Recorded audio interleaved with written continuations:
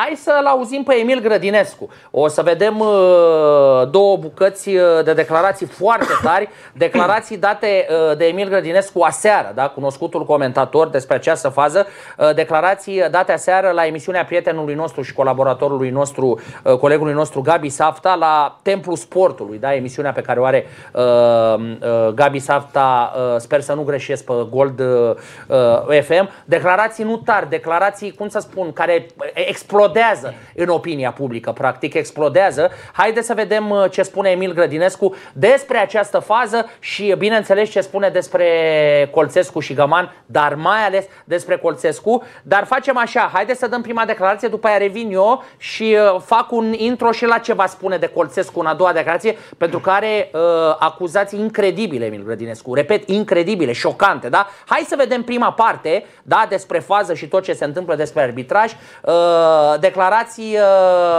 uh, date la Templul Sportului, pe care, bineînțeles, cu uh, uh, acordul lui Gabi Safta, colegul nostru, le-am preluat și noi. Prima serie de declarații incendiare ale lui Emil Grădinescu. Ce te-a determinat să spui asta? Chiar atât te-a enervat uh, decizia?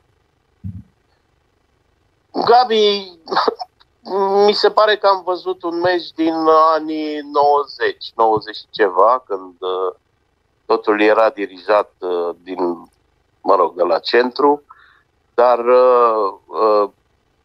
nu știu, aveam, aveam un, un pic de, nu, aveam respect chiar pentru Colțescu, pentru valoarea lui, pentru că man nu prea avea mare respect, pentru că mi-aduc aminte de hențul ăla pe care l-a dictat la, la Pantea în meciul cu UTA, un hens pe care nu l-a văzut absolut nimeni. E drept că a fost, e drept că a fost, a apărut ulterior o, o filmare, e drept că a fost, dar ce a văzut el atunci nu, a, nu, nu, nu, nu îl determina să dea uh, hands. Ca să nu mai zic că al doilea cartonaj galben al lui Pantea a venit după un fault în atac. Uh, pe care l-a suportat uh, fundașul uh, FCSB.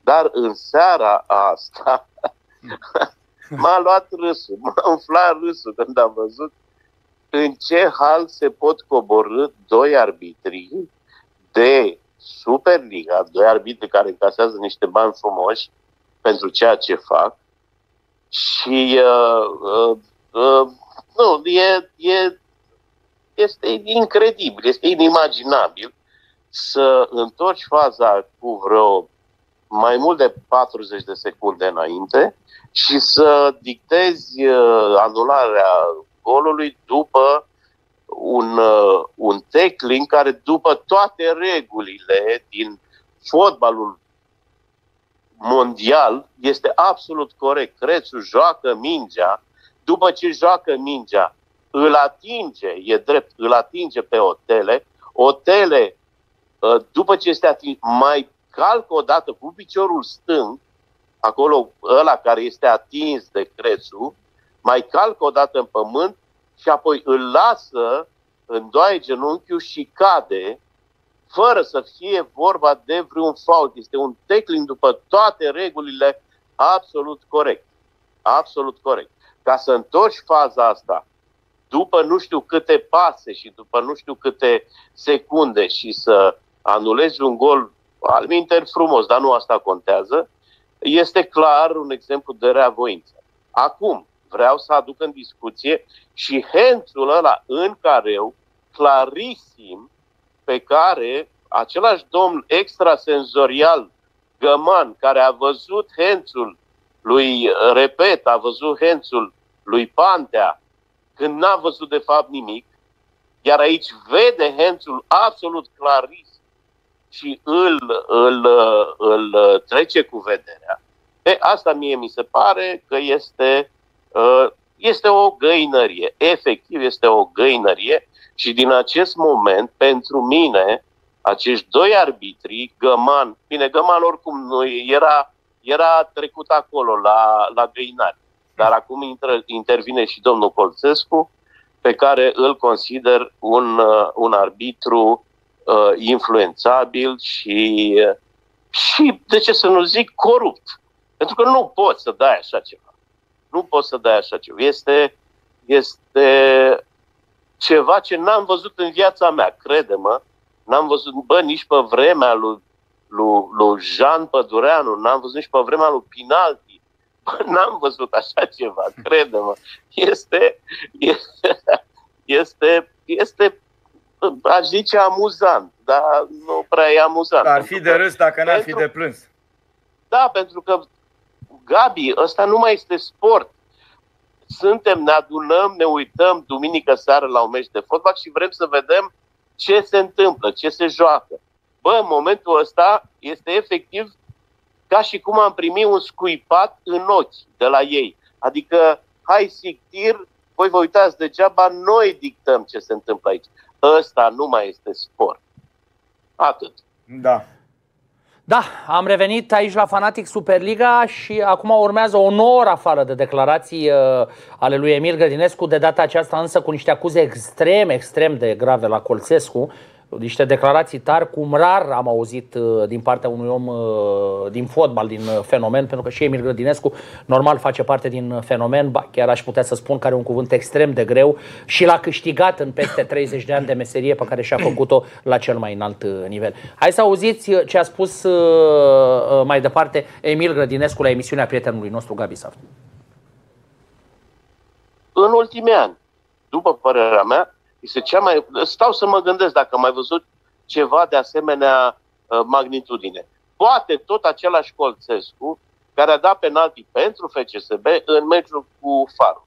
Hmm. Poate că și aia se, a, uh, decizia aia se apropie cumva, dar azi au fost, au fost două, două momente în care FCSB pe care, uh, crede-mă, nu o simpatizez din cauza amest- amestecului, uh, din cauza amestecului uh, patronului, nu am niciun fel de simpatie față de echipa asta, dar ce am văzut azi mi s-a părut efectiv un scuipat în față uh, în fața celor care se uită la meci. Nu se poate așa ceva. Acești arbitri trebuie scoși din arbitraj. Este o hoție, repet, o hoție istorică, o hoție cosmică.